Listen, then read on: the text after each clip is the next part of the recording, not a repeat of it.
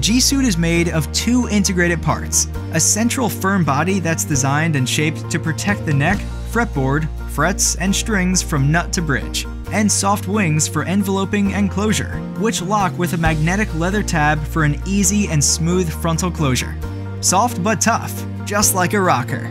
It also has two ledges on each side to help stabilize it on the body of the guitar and an excellent grip to avoid slipping along the neck. The inner part is covered with soft velvet if you please, just like the inside of your guitar case. Going out for a jam session? G-Suit easily folds for compact storage. G-Suit is designed to fit the main sizes of acoustic guitars,